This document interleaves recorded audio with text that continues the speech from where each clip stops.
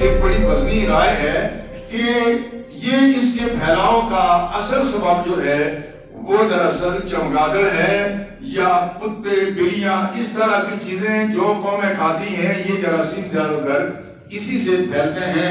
اس کی ایک ریزن یہ بتائی جاتی ہے کہ وہ ساری چیزیں جو میمل ہیں، میمل کا مطلب یہ اپنے بچوں کو دودھ پلاتے ہیں ان میں اور انسان کے کریکٹر میں جنیاتی طور پر کچھ چیزیں مشترک ہوتی ہیں تو لہٰذا یہ جراثیم جلدی پھیلتے ہیں۔ پاکستان کے ایک سائنسدان نے یہ تحقیق کی ہے کہ وہ لوگ جنہوں نے سور کا گوشت کھایا ہے یا جنہوں نے لومڑی اس طرح کے بلیاں اس طرح کے چیزیں سانپ کھائی ہیں کرونا وائرس کا زیادہ خطرہ ان کو ہے جنہوں نے حلال کھایا ان کو اس کا خطرہ بہت سبحان اللہ۔ کم ہے۔ تو میں آپ کی توجہ پھر قرآن کی اس آیت کی طرف منظور کرانا چاہتا ہوں، جس میں اللہ جل شانہ نے رسول اللہ صلی اللہ علیہ وسلم کی شان بیان فرمائی۔ فرمایا، الذین یتبعون الرسول النبی الامی یہ ملت وہ ملت ہے، یہ آپ کا ذکر ہو رہا ہے، ملت اسلامیہ کا ذکر ہو رہا ہے، یہ صحابہ کا ذکر ہے، یہ مسلمان وہ ہیں۔ الذین یتبعون الرسول النبی الامی یہ اس رسول کی اتباع کرتے ہیں جو کسی سے نہیں پڑھا مگر اس کا دل علم الہی سے منور ہے۔ رسول نبی الامی الذي یامر بالمعروف و وینهى عن المنکر، وہ نیکی کا حکم دیتا ہے، برائی سے روکتا ہے۔ وَيُحِلُّ لَهُمُ الطَّيِّبَاتِ اور وہ اچھی چیزوں کو ان کے لیے حلال قرار دیتا ہے۔ یح طیبات طیب کا لفظ عربی زبان میں صاف ستھری، پاکیزہ، بہترین چیز کے لیے استعمال ہوتا ہے۔ وَيُحَرِّمُ عَلَيْهِمُ الْخَبَائِثُ۔ اس نبی کی شان یہ ہے کہ جتنی چیزیں خبیث ہیں، خبیث کا معنی کیا ہے؟ ہر وہ چیز جس میں فساد ہو، جو نقصان دہ ہو، تکلیف دہ ہو، پریشانی کا باعث ہو، اس کو عربی زبان میں خبیث ہی کہا جاتا ہے۔ فرمایا اس نبی کی شان یہ ہے کہ یہ اچھی چیزوں کا حکم دیتا ہے۔ اور بری چیزوں سے منع کرتا ہے، حلال پاک چیزوں کے کھانے کا حکم دیتا ہے، حلال قرار دیتا ہے، اور جو خبیث چیزیں ہیں ان کے کھانے سے منع کرتا ہے۔ لہذا اہل ایمان اللہ جل شان کے فضل و احسان سے جو ایک مسلمان کا مینیو ہے، جو مسلمان کی خوراک کا چارٹ ہے، وہ غیر مسلموں سے بہت مختلف ہے۔ غیر مسلم نے صرف اپنا پیٹ بھرنا ہے، ہم نے اپنا پیٹ نہیں بھرنا۔ اپنے دل کی دعا بھی کرنی ہے۔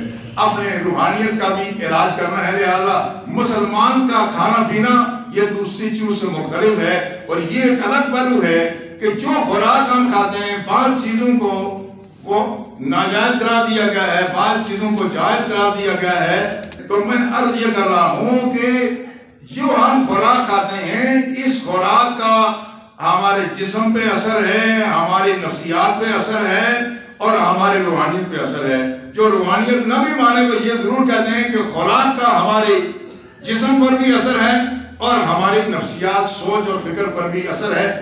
اس لیے اللہ جل شاہ نے جو قرآن میں جو ہمیں تعلیم دی یا رسول اللہ نے تعلیم دی، اس میں ایسی چیزیں کھانے سے ہمیں باندھ رکھا گیا ہے، ایسی چیزیں جن کے اندر خون خالی کا پہلو ہے۔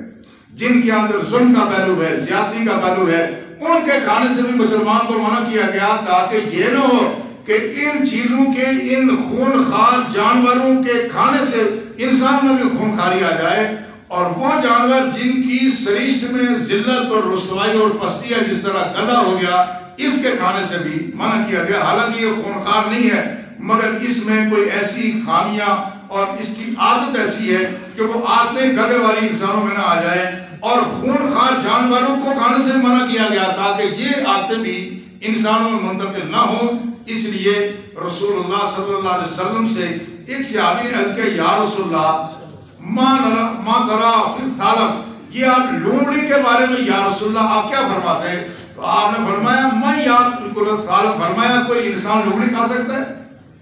اس میں پھر رسول اللہ نے اصول اور ضابطہ بیان فرمایا، آپ نے فرمایا کل ذی ناب من السبا و کل ذی مثلب من التیر اکلو حرام و قال، کما قال نبی صلی اللہ علیہ وسلم۔ آپ نے فرمایا، جانوروں میں ہر وہ جانور جس کی کنچلی ہیں یعنی یہ تیز دانت ہے جس طرح کتا بلی ہے، فرمایا اس کا کھانا حرام ہے اور پرندوں میں ہر وہ پرندہ جو اپنے شکار کو پنجوں میں پکڑتا ہے، اس کا کھانا حرام ہے چونکہ یہ خون خونخوار جانور ہیں۔ لہذا اگر کوئی مسلمان یہ چیزیں استعمال کرے گا، اس کی طبیعت میں خونخاری آئے گی۔ اس لیے خنزیر کا گوشت بھی حرام ہے۔ خنزیر کا گوشت حرام ہونے کی وجہ بھی یہ ہے کہ یہ جانوروں میں سب سے زیادہ بے غیرت جانور ہے۔ جانوروں میں سب سے زیادہ بے غیرت اس معنی میں کہتے ہیں کہ آپ نے دیکھا ہر جانور جو نر جانور ہے، وہ اپنی مادہ کے پاس دوسرے کسی نر کو نہیں آنے دیتا، مزاحمت کرتا ہے۔ گھروں میں آپ دیکھ لیں مرغوں تک یہ بات ہے، مگر یہ جو خنزیر ہے، یہ اتنا بے جانور ہے کہ یہ اس کریکٹر سے یہ خالی ہے۔ لہذا جن قوموں میں خنزیر پایا جاتا ہے، وہاں بوائے فرینڈ اور گرل فرینڈ رکھنے کے پر کسی کے ماتھے پہ شکر نہیں پڑتی، چونکہ یہ بے غیر تھی۔ اسی خنزیر کے کھانے کی وجہ سے ہی ان کے کریکٹر میں چلی جاتی ہے۔ لہذا یہ جو یہ میں اس لیے عرض کر رہا ہوں کہ ان چیزوں کا چونکہ انسانی نفسیات پر اثر ہوتا ہے، ایک شخص نے عرض کیا یا رسول اللہ یہ جو بھیڑیا ہے، اگر اس کو آدمی کھائیں تو پھر کیا ہوگا؟ فرمایا جو آدمی بھیڑیا کھائے گا، اس میں کوئی خیر کی توقع نہیں ہوگی۔ مقصد یہ ہے کہ جو آدمی بھیڑیا کھائے گا، وہ بھیڑیے کا کردار ہی اس میں نمونار ہوگا۔ لہذا یہ جتنی چیزیں ہیں جو شریعت نے حرام قرار دی ہیں، اب آج اس سے اگر یہ چیز اخذ ہو رہی ہے کہ چمگادڑ اس کی وجہ سے اور اس کے گوشت کھانے کی وجہ سے یہ بیماری منتقل ہوئی ہے، تو آج دنیا کو اس پر نظر ثانی کرنی ہوگی، انہیں مسلمانوں کا مینیو اپنا ہوگا۔ مگر عجیب بات یہ ہے کہ ادھر صورتحال یہ ہے، لوگوں کی آنکھیں کھل رہی ہیں، چائنا میں لوگ مسجدیں کھول رہے ہیں، ہمارے ہاں مسجدیں بند کرنے کی تجویز ہو رہی ہے۔ وہاں مسجدیں کھول رہے ہیں، کہتے ہیں مسلمان جاؤ۔ وہ کہتے ہیں، تمہارا خدا بڑا سخت ہے، تم جاؤ اپنے خدا کے سامنے حاضر ہو جاؤ اور وہ وہ اس کے سامنے تم دعائیں کرو تاکہ ہمیں اس چیز سے نجات ملے۔